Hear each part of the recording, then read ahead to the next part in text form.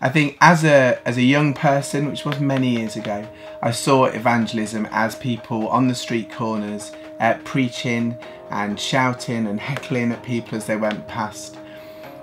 And that is still a way that people use evangelism today. But for me, I think evangelism is much more than that. It's much more about coming alongside young people, journeying with them, caring for the things that are really going on in their lives. One of the key things is not being frightened to talk about your own personal experience. You know, times when God's really been close to you or has touched your life, um, experiences of the mystical and things like that.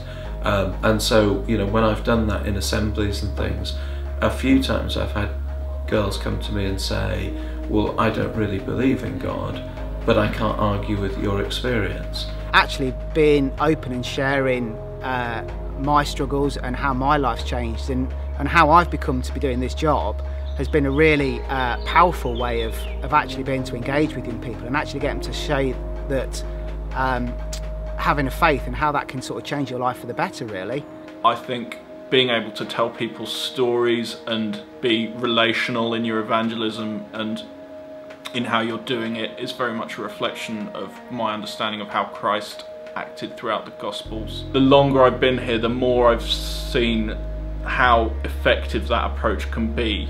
And again, I'd say that's a reflection of Jesus' engagement with people in the Gospels, in that he met people where they were and he spoke to the issues that were on their heart, and at the same time, and often by doing that, uh, brought the good news to them.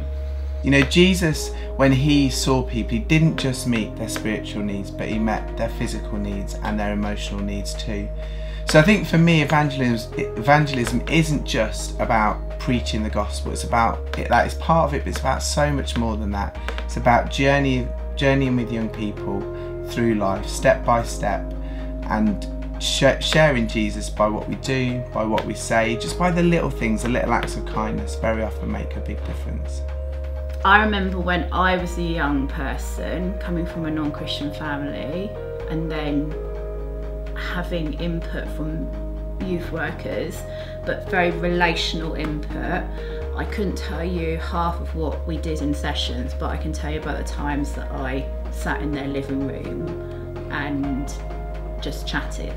It's actually about showing the young people we work with that actually first and foremost our job is love uh, and to love them where they are and, and, not judge them for who they are or for the struggles or challenges that they're going through, but actually just to support them and care them for them and, and show them a direction that is hopefully positive.